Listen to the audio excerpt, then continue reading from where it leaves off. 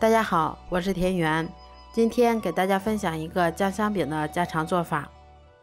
首先准备三百克面粉，然后少量多次的加入大约二百毫升的开水，用筷子一直搅拌成这样的面絮状，再下手揉成一个偏软一些、光滑的面团，盖上盖子，让它松弛十分钟。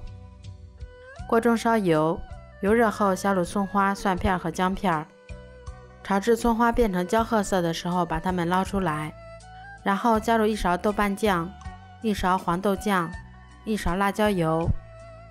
把它们翻炒均匀，炒至起泡后盛出来备用。将面团移到面板上，直接擀成一张厚度约二毫米的长方形大饼，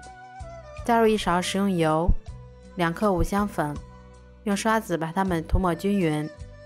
再从一头慢慢卷起来。用刀切成三个大小均匀的小剂子，把小剂子揉圆按扁，再擀成一张厚度约二毫米的饼皮，这样我们的生胚就做好啦。电饼铛预热刷油，然后放入我们做好的生胚，表面再刷一层食用油，防止水分的流失。盖上盖子，小火烙三分钟左右，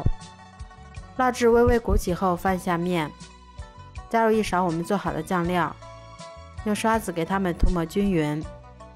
再撒一些白芝麻增香，最后撒入适量的葱花，我们的酱香饼就可以出锅啦。这样做出的酱香饼口感焦香酥脆，酱香味十足，比外面买的味道一点也不差。如果喜欢的话就试试吧，喜欢我的视频就关注我吧，谢谢您的支持。